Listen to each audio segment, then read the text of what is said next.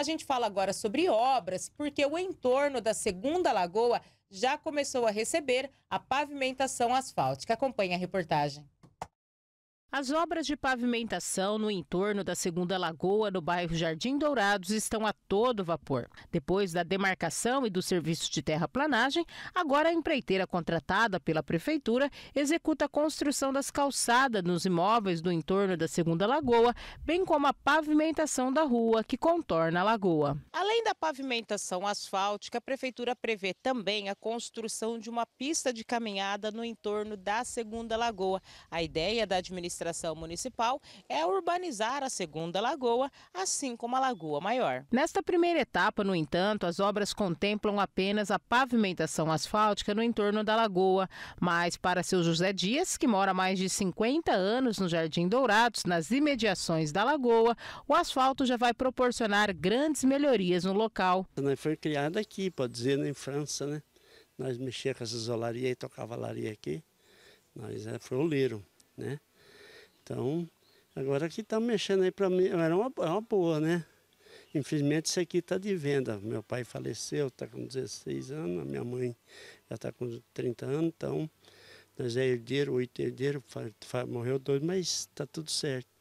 Então nós vamos ver para fazer ali, né, embaixo ali, que vai ficar melhor para vender aqui, né? Faz tempo que vocês aguardam essas melhorias, a urbanização? Faz muitos anos, né? E a urbanização da primeira e da segunda lagoas, assim como a Lagoa Maior para o seu José, seria um sonho. É uma boa, né? Vai ser uma caixa postal para Três Lagoas, né? Pessoa, pudesse fazer nas Três Lagoas, chegasse o povo aqui em Três Lagoas, ver se a cidade, você, você, né, você sabe, né? Três Lagoas, é uma cidade bonita, né? Uma cidade linda, né? Não é porque eu moro aqui, uh, moro aqui 60 e 64 anos. Conforme seu José, mas é preciso também melhorar a rede de esgoto da Sanesul. Na rua Gonçalves Dias, por exemplo, a rede está com vários vazamentos, ocasionando transtorno aos moradores. Tudo estourado, ó. aqui ó, para cá tem uns seis lugares. A rede está da noite e o trem vira na lagoa. Pode dizer, a gente está morando na lagoa. Então, aí então, é, é, ali mesmo, ó, se chover para a gente passar de carro, como passa lá? Né? Dá trabalho, de, de a pé, pedestre. Então, isso aí que eu já mandei para ver, disse que a ia vir aqui para ver essa, essa rede, que não adianta o prefeito, quem for tampar ali. A água está saindo. À noite, à noite você vai ver, você passa aí, ó, todo lugar está estourado essa rede. É rede muito, muito antiga, ó.